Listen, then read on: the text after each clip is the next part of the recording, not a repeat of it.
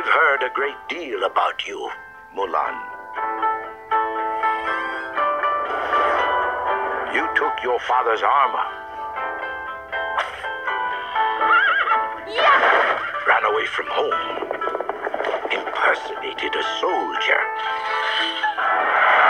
endangered the lives of thousands of men,